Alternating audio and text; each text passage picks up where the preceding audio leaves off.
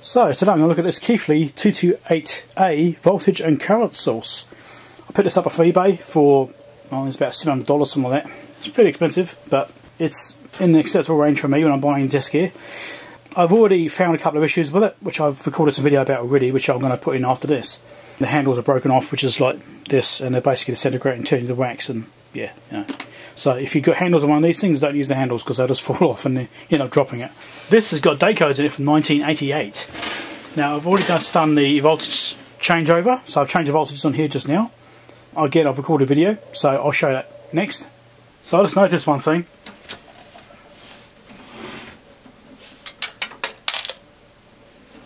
Can you hear it? There's something floating around inside. So, although it's got seals on it, I'm definitely have to open this up. Well, I have to anyway to change the voltage, but there's definitely something floating around inside, which may be a sign of a big problem. Someone's powered this thing up with that floating around. Let's see if we can find what it is that's floating around. Okay, so forget about it. Aha, I can see something sitting over there in the corner. That's probably what it is. The question is where did it come from. And this is from this card. Maybe it's one of these card screws which has fallen out. There could be more than one screw floating around. Right, let me get that out. Here it is. So there's a screw, the same as the ones which are holding on the best of chassis here, in various places. But these screws have all got washers on. So there could also be a washer floating around.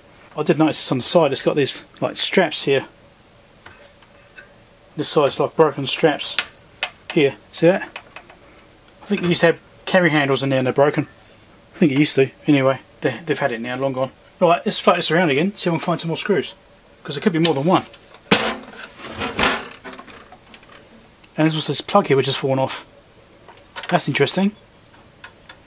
That plug is not attached. Why is that plug not attached? Could have just been vibration made it fall off. It isn't secured very well. Maybe it's supposed to be cable tied over there or something. Hmm. Could be a few things going on with this, you never quite know. Let's flip it over. Yep, another screw fell out. And the piece fell out. Right, where did they go? There's a piece that fell out. another screw just like the other one. So this is going to require a fair bit of investigation I think to see what's going on. I think I need to pull the bottom cover off as well in case there's something trapped under there.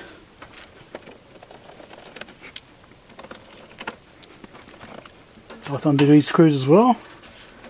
Think maybe I do. Yeah.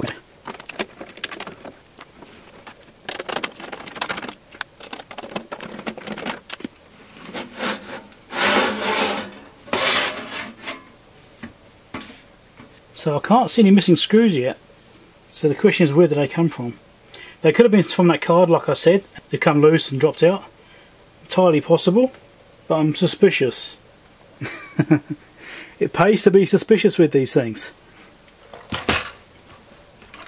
Yeah, nothing else dropping out. Okay, so it probably was just from this card here.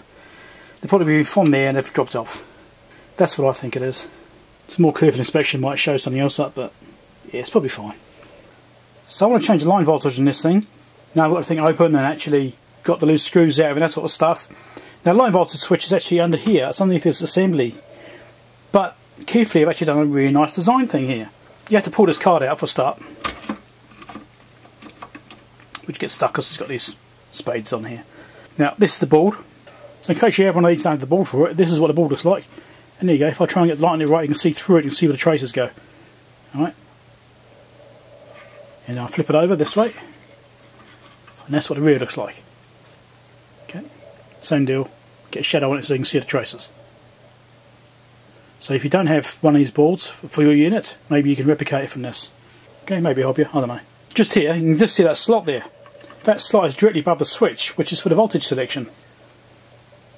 So instead of having to take all this assembly out, which is what I thought I was going to have to do, you can go through that switch, and actually just through there, I doubt I can get it on camera though, so the switch is directly below it, and on the PCB it's got a marking of 230 volts this side, and the other side, let me see if I can actually see it, so that side says 115 volts, this side says 230 volts.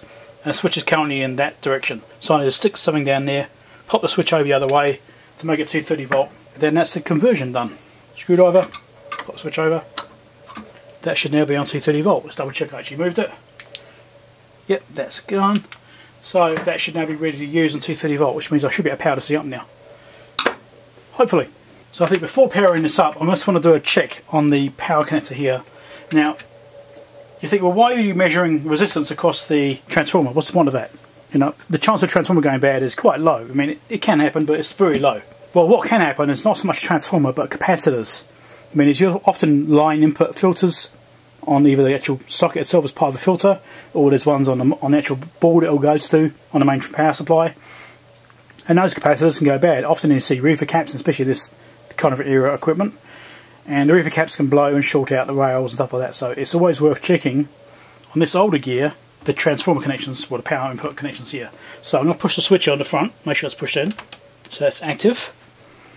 Just going to measure across here and here. What we get? 71 ohms, that seems fine for a transformer.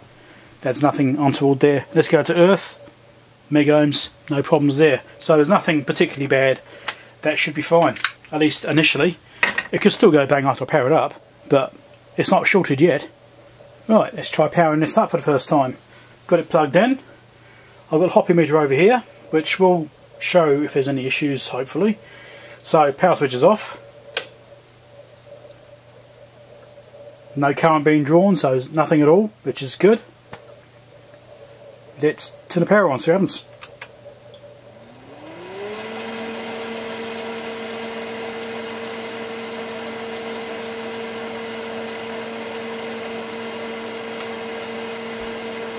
Well, it looks like it's basically functioning. That's a good start. Fan's a bit noisy though. It doesn't need a big fan, this thing, it's not surprising. How do I change this thing? I've got no idea. I don't know how to use this yet, obviously. What's the maximum voltage you can do? 10. Okay, 10 volts there. You've got this selection over here as well. Let's see what we can do here. So 0.1, so 100 milliamps it looks like. So 100 milliamps at 10 volts looks like the limits of what this can do. Well, I think I should look at hooking up to the output and actually seeing what we're getting out of it, see if anything's coming out at all. Meter's hooked up to the terminals on the back. Let's see if this will actually turn it on. There we go, we've got 10 volts coming out. Brilliant. That's actually working. Well, that's nice. Maybe I don't have much to fix on this thing. If anything. I mean, it is actually outputting. Right. I think I've just got to figure out how to use it then. So my initial thoughts about what this is actually capable of doing for the output was wrong. It can do much better than that. I was thinking it's a bit limited. If you use a keypad to enter the values instead, you'll get different ranges. So if I wanted to do 0.1 amps, that's what I get there. I do 1 amp, I can do that. Do 10 amps, I can do 10 amps. I'm not sure what the maximum was, I think it was 10. Yeah, think 10 was the maximum. Yeah, so 10 amps maximum. The same thing for the voltage, you can do the same over here. So you want to do 10 volts, which we are doing before. We can also source the sink. Anyway, look at that after. So 20 volts. I think that voltage is out of range because of this current setting. So if go back to current, put in 1 amp again, go back to voltage here, the 22, that should now accept that. Yes it does, 22 volts. Right, so I think this can go up to 100 volts. I think that's what we could do. Yes, 100 volts output at 1 amp. 200 watts output this thing. So let's stick this on these terminals again. Turn the output on. There we go. Keep 100 volts. So that's good, that's actually working. Go back to 1 volt. That's fine. Uh, 0.1 volt. Perfect. That's looking good. Happy with that.